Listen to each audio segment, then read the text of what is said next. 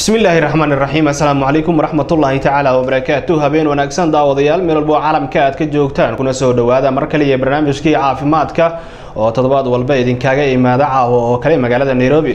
Barnaamijkan waxaa nagala qeybgala dhaktarka caanka dr cali mucow aweys oo ku takhasusay cudurrada guud gaar ahaan cudurrada uurka jirta. Dhakhtarka oo ka soo shaqeeyey waddamada ay ka mid yihiin ingiriiska iyo jarmalka wuxuu ka howlgalaa isbitaal uu ku leeyahay xaafada soomaalidu ee degta islii ka soo horjeedka hotel bunlayd waxaana lagu magacaabaa international health center qeybtii hore toddobaadkii aynu soo dhaafnay waxaan uga hadalnay cudurrada ku dhaca lafaha. Qeybta labaad ee caawa haddii ayba ka raali noqdona waxaan uga hadli doonaa cudurrada ku dhaca lafaha gaar ahaan tufta haddii ayba ka raali noqdo. Balse intaan u gudagelin doctore ku soo dhowo barnaamijka. Bismi illaahi raxmaan iraxiim cabdulaahi aada iyo aad baan kugu mahad celinayaa waxaan rabaa inaanu mahadceliyo soomaali cable shaqaalaheedii oo dhan iyo madaxdeediiba waxaan leeyahay. Aada iyo aad baad u mahadsantihiin. Salaan kadib fursadan wanaagsan aadana siinaysaan an ummadda soomaaliyeed talo dhakhtar aan ku siin karno marka soo xigta waxaan rabaa ummadda soomaaliyeed meel kasta ay joogtaba khaasatan reer kenya waxaan leeyahay asalaamu calaykum waraxmatullaahi wabarakaatu wacalaykum salaam waraxmatullaahi tacaala wabarakaatu aada iyo aad ayaad ugu mahadsan tahay mar walba talada caafimaad aad siiso dadweynaha soomaaliyeed ee naga daawanaya telefishinka somaali cable. Daawadayaal iminka waxaad ku soo dhawaataan qadar adeega bulshada oo ku saabsan xarunta doctor cali mucu haweys oo ku taala xaafada soomaalidu ee degtay islii ka soo horjeedka hotel moonlight waxaana lagu magacaabaa international health center. Iminkaba haddii aad doonaysid waxaad kala xiriiri kartaa taleefonka shaashada idinkaaga muuqda bishaaro bishaaro bishaaro haddaba waa maxay bishaaradaad inoo sidid? Caafimaadka dunida dhictor loogu riyaaqay dadka ay ka heleen miyaadan ogeen in doctor cali macow aweys uu isbitaal cusub kaaga furay. Xaafada soomaalida ee degtay islii gaar ahaan xaafada tualf street ka soo horjeedka hotel moonlight. Bismi illaahi raxmaan iraxiim dadweynaha soomaaliyeed waxaan rabaa inaanu sheego sanadkan cusub wixii ka bacda in laga helayo islii xaafada twelve street moonlight hotelka horjeedkiisa ninkii danaynayo meeshaas ayuu igu soo booqan karaa. Daryeel dumar iyo carruurta danyarta midkan waxaysan. Dhaktar cali baa u jooga ee hamoogaan dhaktar cali macow aweys oo ku taqaqusay cudurrada guud gaar ahaana cudurrada gala uurku jirta. Waxaana goobtiisa caafimaad uu kuugu soo kordhiyey qalab casri ah oo wax badan ka qaban doona xaalada guud ee bukaan jiifka. Soo gaara isbitaalka dhaktar cali macow aweys doctor cali macow aweys oo ka soo shaqeeyay isbitaallo badan oo ku yaalla qaaradda yurub gaar ahaan jarmalka iyo ingiriiska. Wuxuu u fududeynayaa dadka bukaanada ee doonaya inay soo booqdaan xaruntiisa caafimaad ee ku taala dalka kenya inuu u soo saaro fiisaha dalku galka sidoo kale dadka bukaanada ee wax looga qaban waayo xaruntiisa caafimaad ee ku taala magaalada nairobi wuxuu iyaguna u sahlayaa fiisaha ay ku gaari karaan dalka jarmalka. Haddaba wixii faahfaahiintaasi dheer kala xiriir ciwaanada iyo taleefanada shaashada kaaga muuqda. Waa hagaag daawadayaal isoo noqod wanaagsan. Qeybihii hore ee barnaamijka sidaad ugu daawateen. Maanta waxaan uga hadlaynaa haddii ayba ka noqdo cudurrada ku dhaca lafaha waa qeybtii labaad gaar ahaan waxaan uga hadlaynaa tufta. Sidaan aada ogtihiinba barnaamijkan waxaa mar walba nagala qeybgala dhaktar cali mucow aweys oo ku takhasusay cudurrada guud gaar ahaan cudurrada uurka jirta. Doctor waxaan ku weydiinayaa su'aasha ugu horeysa tufta maxay ta horta bismi illaahi raxmaan iraxiim mar kale cabdulaahi iyo mar kale kuu mahad celinayaa markaas kadib haddii aan dib ugu soo noqdo barnaamijka aan caawa rabno inaan ka shekeyno waxaa ka mid ah wiiggii hore waxaan ka hadalnay cudurka la yihahdo artritiska wiiggaana waxaan bal rabaa faahfaahin dheer inaan ka siiyo waxa la yidhaahdo tufta sidaad ii weydiinayso ama loo yaqaano riixda soomaalida u taqaano oo waa la riixaa lagu leeyahay ama romatismka loo yaqaan. Marka cudurkan romatismka la yidhaahdo waa cudur aada iyo aad aada iyo aada u adag. Qof kastaaba markuu ku yimaado wuxuu ku leeyahy lafaha layga hayaa romatism baa laygu sheegay romatism romatismka wax cudur yar ma aha cudur fududna ma aha cudur aada iyo aada u adag oo jirkaaga dhibaato badan u geysan kara dhibaatooyinkaas haddii goor hore waxaa laga qabanin weliba sariir baad fuulaysaa waa qalloocanaysaa adiga dhan halaablaabmaayo cudurkan cabdulaahi haddii aan kuu sheego dhibaatadiisa oo ugu badan lafahaagii ayuu qalloocjinayaa xanuun aan la adkeysan karin oo habeen iyo maalin ah aadan ka seexan karin aadan ka harsan karin aadan ka jiifan karin aadan ka fariisan karin ayuu ku imaanayaa cudurkaas oo weliba intii kala goosi oo dhan buu gelayaa wuuna laalaabayaa haddii aan wax laga qaban. Cudurkaas suu ku yimaadaan kuu sheegayaa cabdulaahiyo horta cudurkaas jirkaaga laftigiisa difaaca jirkaaga uu ka dhisan yahay wuxuu ka dhisan yahay afar nuuc. Jirka afar nuuc afartaas nuuc oo la yiraahdo e g g mise i g g la yiraahdo i g a e la yiraahdo i g a iyo i g m. Afartaas nuuc oo difaaca jirka uu ka dhisan yahay uu shaqeeyo afar iyo labaatan saac dhiiggaasuu saas ugu wareegaya markuu cudur soo galo ayuu isa soo badinayaa cudurkaasuu ka hortegayaa uu isku dayayaa inuu joojiyo. Haddii cudurkaas uu joojin waayey waxaad bilaabaysaa inaad jarayso jag jag jag jag jag. Halqada haysta idada war idada idadaad oranaysa. Marka taasu waa mid cudurkaas rheumatismka markii difaaca jirka isagii oo adiga difaaca ku ahaa is is arko oo qalad uu isku arko oo dirka jirkaaga difaaci laftigiisa isla dagaala dagaal ayaa jirkaaga dhexdiisa ka dhacaya oo adiga kaagii ah. Markuu dagaalkaas dhaco ayuu xiidmaha fada fariisanayaa kala goosyada oo fariisanayaa kala goosyada uu laalaabayaa marka waa rheumatismka la sheegay. Waxaa jira laba oo difaaca jirka ka mid ah oo midna la yidhaahdo i g g oo 24 hours to 24 hours ku dhaqaaqa jirka ku jira oo isku dayaya inuu ku difaaco 24 hours afar iyo labaatan saacadood difaac buu kugu sameynaya.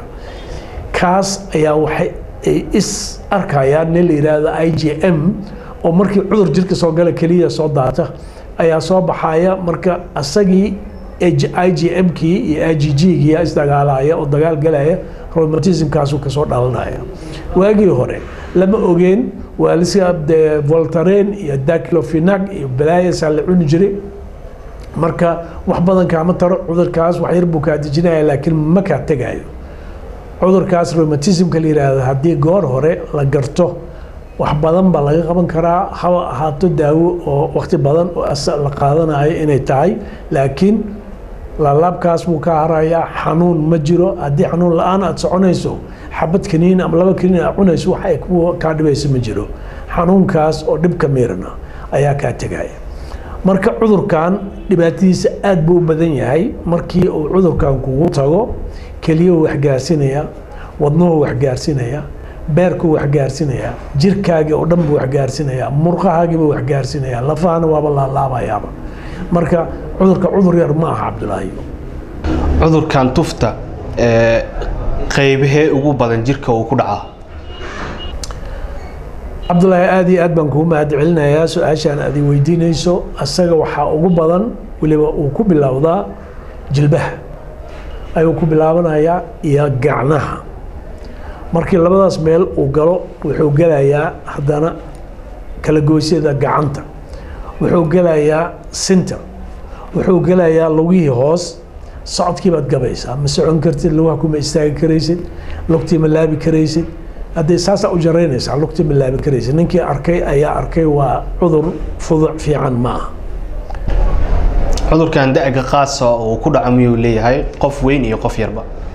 Cabdulaahi su'aal caaji cajiib ah waaye su'aashaada waa inaan kaa soo hormaraan rabi laakiin adaa iga soo hormaray. Cudurkan da ma laha dhibaatada uu leeyahay sanad jirka wuu ku dhici karaa sagaashan jirkan wuu ku dhici karaa. Wakti go-an oo la dhihi karo waktigaas ayuu leeyahay male wakti kastuu imaan karaa. Cudurkaas waa cudur adag oo da kasta ku dhici kara waxay ku kala gedisan yihiin cudurkii wiigii hore aan ka hadalnay artratiska la dhahay. Afartan sano iyo afartan shan sano markaa gaartay ka bacda ayuu yimaadaa. Carjowgaaga iscunaaya haddii laakiin weyga oo mataqaana culeyskaaga aad badan yahay aada culus tahay ayuu weliba ugu daran yahay markii lafihii carjowyadii dhammaanaya artritis baa la yihahdaa da-da yar kuma dhaco. Laakiin da-da weyn ayuu ku dhacaya. Dhalmada marka saameyn ma ku yeelan karaa qofka? Cudurkan cabdulaahi aada iyo aad baan kugu mahad celinayaa haa. Dhalmada saameyn buu ku yeelanayaa. Qofka rheumatismka qabo ma dhali karo ilmaha way soo daadanayaan mar kasto. Maxaa jira dheh difaaca jirkaagaaba isdagaalaya cunugan caloosha galayana wuxuu u baahan yahay difaac buu u baahan yahay. Difaacana hooyadiisuu ka helayaa. Haddii hooyadii ay dhibaato haysato oo romatismkaas ay qabto si uurku qaadaa waa adag tahay. Laakiin hadda dawooyin casri baa soo baxay waqti fiican baa la joogaa adduun casri baa la joogaa. Wixii wax badan baa laga qaban karaa waxaa dhicaysa xataa inuu qofka dumarka u dhali karo aada iyo aad umahadsan tahay. Daawadayaal weli waxaad naga daawanaysaan somali cable. Barnaamijkii caafimaadka oo habeen walba caawa oo kale idinkaaga imaada magaalada nairobi.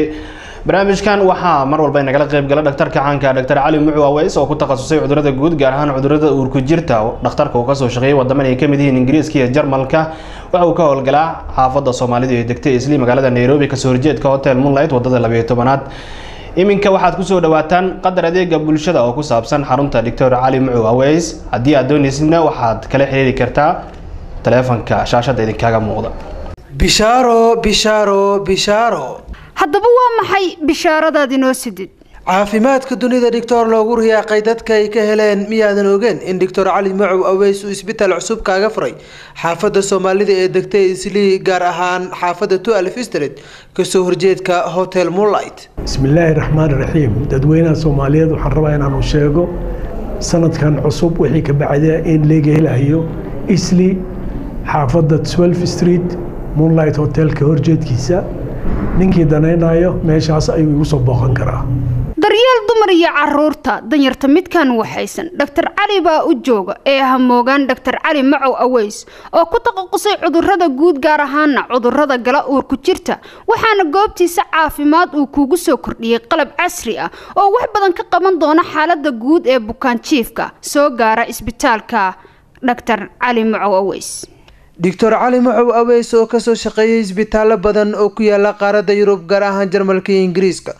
Waxa uu u fududeynayaa dadka bukaanada ee doonaya inay soo booqdaan xaruntiisa caafimaad ee ku taala dalka kenya inuu u soo saaro fiisaha dalku galka sidoo kale dadka bukaanada ee wax looga qaban waayo xaruntiisa caafimaad ee ku taala magaalada nairobi wuxuu iyaguna u sahlayaa fiisaha ay ku gaari karaan dalka jarmalka. Haddaba wixii faahfaahiintaasi dheer kala xiriir ciwaanada iyo taleefanada shaashada kaaga muuqda. Waa hagaag daawadayaal qaybihii dhexe barnaamijka caafimaadka ayaa daawanaysaan. Sidaad hore u daawateen waxaan uga hadlaynaa cudurrada ku dhaca lafaha. Qaybtii hore toddobaadkii hore ayaa daawateen. Qaybta labaad ee caawana waxaan uga hadlaynaa cudurrada loo yaqaano tufta. Doctor cali mucu aweys ayaana inagala qaybgelaya doctore waxaan ku weydiinayaa cudurkaani dhaxal ma leeyaho ma la kala dhaxlaa cabdulaahi aada iyo aad baan kugu mahad celinayaa. Su'aashan laftigeed waa su'aal cajiib ah. Haah cudurkaas waa galaa oo waa la isku dhexli karaa laakiin waxay kala yihiin haddii adiga aada shan cunug dhasho laga yaabo labo inaad mataqaanaa u dhaxasho laakiin saddex aadan u dhaxlin. Waxaa laga yaabaa shantaba inaad u dhaxasho. Waxaa laga yaabaa midkoodana inaadan u dhaxlin. Marka cudurkaas dhaxal wuu galaa isaga iyo sokorta iyo waxaasoo dhan dhaxal bay galaan laakiin waxaan dhahayaa mataqaanaa intii maaragtay muslina allah ka badbaadiyo cudurkaas cudur fiican ma aha cudurkaas lafaha galaya waa cudur aada u adag. Cudurka marka wax xiriira ma kala dhexeeyaan cudurrada dilaga oo kale sida kansarka iyo dhiigkarka iyo waxyaabahaas oo kale. Cabdulaahi aada iyo aad baan kugu mahad celinayaa dhiigkarka waa cudur isaga qaas ah. Kansarkana ilaahay intii muslina ka koriyo laftigiisa waa cudur qaas ah. Marka kansarka markii la leeyahay meel kasta wuu geli karaa. Cudurkaas kansarka hadduu yimaado oo lafaha wuu geli karaa laftigiisa laakiin maaha romatismka ma aha romatismka cabdulaahi waa cudur qaas oo asaga isu qaas ah. Oo asaga lafaha maaragta weliba inta kale goosyada uu gelayo haddii adan wax ka qabanina uu ku jarjarayo adiga dhanbu ku baabi'inayo marka cudurkaas aan lagu kala garanaynin muxuu yahay? Nin dhakhtar oo aqoontiisa le markaad hesho oo uu yiraahdo okay qofkan waa inaan romatismka ka fiiriyaa waa inaan ka fiiriyaa serum reactive protein wax la yiraahdo. La fiiriyaa maaragta wax e c r la yiraahdo.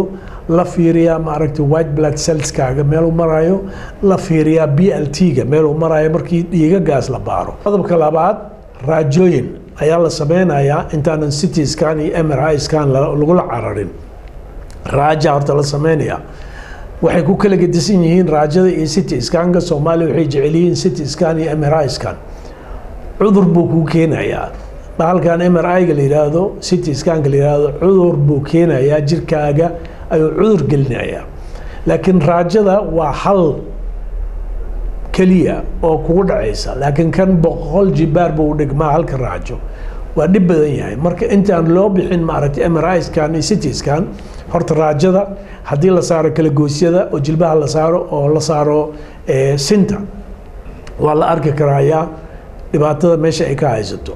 Marka cudurka romatismka markaan kuu sheego maaha keliya jilibka iyo sinta keliya dhabarkuu gelayaa tuur ayaa kaa soo bixi karaysa.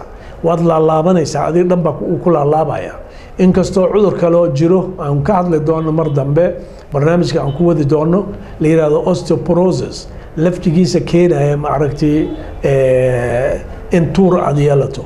Laftigiisa wuu keenaya laakiin kan rheumatismka la yiraahdo oo tufta loo yaqaan oo soomaalida ay u riix ama tuf waa kaas cudur khaas ah waaye oo u baahan kaas in loo daaweeyo.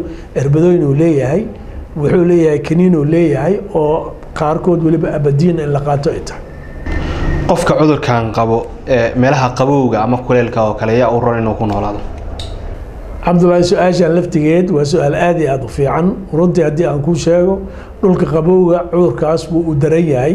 Qabowga aada iyo aad buu ugu daran yahay. Kuleelka ayaa ugu fiican kuleelkaa roon. Laakiin daawo la'aan ama kuleel ama qabow daawo la'aan ma soconayso waa inaad daawo haysataa laakiin kuleelka aad ku fiican tahay waad socon kartaa waad dhaqaaqi kartaa. Hadda waktigan la joogo cabdullaahi haddaan kuu sheego jarmanka baraf baa da'aya. Ingiriiska qabow miran waaye iyo roob iyo ayaa socda. Marka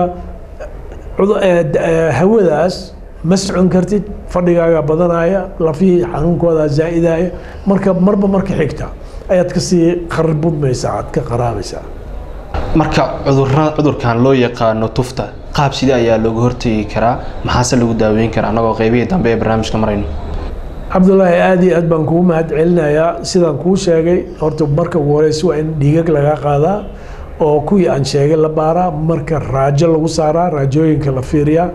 Markaas haddii dhakhtarkaas uu ku isku kalsoon yahay wuxuu kuu sameynayaa daawooyin iyo irbado ilaa horta xanuunkan lagaa bi'iyo xanuunka horta waa in la bi'iyaa xanuun eber in laga dhigaa markaas ka bacdi daawada oo khafiif ah oo qaadanaysid maaragtay in la qaato loo baahan yahay maalin walbo ayaa lagu siinayaa daawadaasa. Markay dhammaataba aad raadsanaysaa ood qaadanaysaa xanuun la'aan baad soconaysaa hadduu alla idmo laakiin haddii aadan runtii aadan qaadan toos aadan u raacin dhibaato badan badan badan ayay kaaga imaan kartaa hadduu alla idmo daawooyinkaas marka halkaan ma laga heli karaa cabdullaahi aada iyo aad baan kugu mahad celinayaa waxaa jira daawooyin la yiraahdo imon subrasive imon subrasiivekaas oo loo yaqaano maaragtay ambrel daawo la yirahda jira ambrel oo aan raqiis ahayn aada u adag.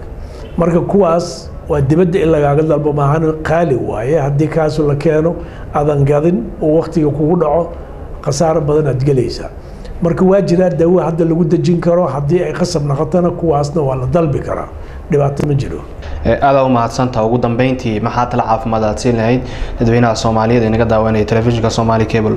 Cudurada guud iyo cudurkan oo kale tufta loo yaqaano qaab sidee ayaa loogu hortegi karaa? Cabdullaahi aada iyo aad baan kuugu mahad celinayaa horta ummadda soomaaliyeed meel kasta ay joogtaba. Cabdullaahi waxaan leeyahay caafimaadka lagu dadaalo ama lafa ha ahaadeen ama uurku jirta ha ahaadeen ama meel kasta ha noqdeen horta caafimaadka in lagu dadaalo ayaan kula talinaya waxaa kaloo jira cabdullaahi cudurkan maaragtay lafa xanuunka iyo maaragtay cuduro kaloo ka mid ah sidii keliyaha oo kale sidii beerka oo kale sidii caloosha oo kale sidii wadnaha oo kale sidii sababka oo kale. Haddii lagaa qabto laftigiisa lafa xanuunkaasaa imaanaya marka ugu khafiifsan haddaan u sheego oo aada ugu khafiifsan hawa hadday kugu dhacdo qabow kugu dhaco oo hargba kugu dhaco aada bilowda inaad qunfacdo lafa xanuun baa ku imaanaya lafaa dhan baa ku xanuunaya murqaa dhan baa ku xanuunaya. Aniga waa qandhanahay qandha waa jiranahay jira maanta ma kici karo ayaad dhehaysaa. Marka lafa xanuunka aad arkayso maaha keliya. Marka in loo arkana maaha hadday laf ku xanuunayan inay rheumatism tahay. Rheumatismka waa cudur aada iyo aada u adag aada u xun laakiin wax laga qaban karo lala tacaali karo. Marka ummadda soomaaliyeed waxaan leeyahay meel kasta aad joogtaba ha isku daahinin. Haddii aad aragto cudurka saas oo kale ah dhakhtar u tag waa lagu baarayaa waxay ku fadhida ma laha. Marka waxaan rabaa inaan ka faa'iidaysto cabdulaahiyow meeshan ummadda soomaaliyeed waxay dhibaata ay ku qabtaa baaritaanka ma jecla baaritaankana waa waxa ugu muhiimsan oo lagu sameyn karo cudurkaaga sida lagu heli karo waa in baaritaan lagu geliya. Haddaan baaritaan lagu gelinin cudurkaaga sida lagu helaa way adag tahay. Marka daawo keliya in lagu qoro oo kan soo tijaabi oo kan soo tijaabi oo kan soo tijaabi. Daawada waa sun. Jirkaaga ayay dhib u geysanaysaa. Marka tajaabin badan oo wiig kasta ama labadii wiigba daawo kale in lagu siiyo aad soo tijaabiso waa laga fiican yahay taas ha layska ilaaliyo daawada ayaa laga cunin. Waa sun daawada daawo ma fiicna. Haddii aad u baahan tahayna wax ka wanaagsan male haddii aad u baahneenna wax ka xun ma laha. Aada iyo aad aad umahadsan tahay. Waan rajaynayaa inay taladaada qaadan doonaan dadweynaha soomaaliyeed. Ay naga daawanaya telefishinka somali cable. Guud ahaana intaas ayaan ku soo gebagabeyneynaa barnaamijkii caafimaadka caawa oo idinkaaga imanayay magaalada nairobi. Barnaamijkan waxaa nagala qayb galaa habeen walbaca oo kale dr. Cali mucow aweys oo ku takhasusay cudurrada guud gaar ahaan cudurrada uurku jirta dhaktarka oo ka soo shaqeeyay waddaman ay ka mid yihiin ingiriiska iyo jarmalka codsiyo badan uga yimid dadka soomaaliyeed ee ku nool africa waddamada ku yaalla waxa uu soo gaaray magaalada nairobi gaar ahaan xaafadda soomaalida ee degtay isliika soorjeedka hotel moonlight waddada labayo tobanaad. Isbitaalkiisana waxaa lagu magacaabaa international health center. Iminkaba waad soo gaari kartaa ama waxaad kala xiriiri kartaa. Si tala caafimaad uu kuu siiyo dhakhtarka taleefonka shaashada idinkaaga muuqda. Barnaamijkii caawa waxaan uga hadlaynay qeybtii hore sidaad u daawateen cudurrada ku dhaca lafaha. Qeybta labaad ee caawana waxaan uga hadlaynay cudurrada loo yaqaano tufta. Toddobaadka dambe haddii ba ka raali noqdo barnaamijkan wuxuu noqon doonaa taxane. Intaas ayaan ku soo gebagabeyneynaa dhanka farsamada iyo kaamiradu waxay ahayd samiire cabdulaahi jaamac anigoo cabdullahi axmed cali idinla socodsiinayay. Dib intaan u kulmi doono toddobaadka dambe haddii ayba ka raali noqdo waxaan idinku soo dhaweyneynaa qadar adeega bulshada oo ku saabsan xarunta doctor cali mucow aweys international health center. Bishaaro bishaaro bishaaro. Haddaba waa maxay bishaaradaad inoo sidid caafimaadka dunida dhictor loogu riyaaqay dadka ay ka heleen miyaadan ogeen in doctor cali macow aweys uu isbitaal cusub kaaga furay. Xaafadda soomaalida ee degtay islii gaar ahaan xaafadda tualf street ka soo horjeedka hotel moonlight. Bismillaahi raxmaan raxiim dadweynaha soomaaliyeed waxaan rabaa inaanu sheego sanadkan cusub wixii ka bacda in laga helayo isli xaafadda twelf street moonlight hotelka horjeedkiisa ninkii danaynayo meeshaas ayuu igu soo booqan karaa.